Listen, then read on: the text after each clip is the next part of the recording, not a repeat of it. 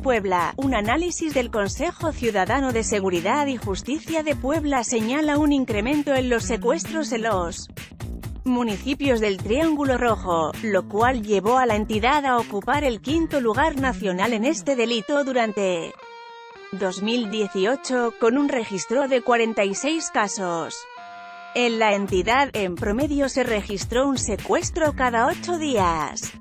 Hubo un incremento del 31% en comparación al año anterior en la que se registraron 32, de acuerdo a la Organización Civil, los casos de privación ilegal de la libertad se dieron principalmente en los municipios de Ciudad Serdani, Acatzingo con cinco denuncias cada uno, seguidos de Tecamachalco y Puebla que, tuvieron cada uno cuatro casos. Mientras con tres denuncias siguen los municipios de Teciutlán y Tepeaca. En séptimo lugar se encuentra el municipio de San Andrés Cholula y Chinango con dos reportes cada uno. Entre los puntos de la entidad que tienen un registro de un secuestro se encuentran Zacatlán además de Ciutetelco.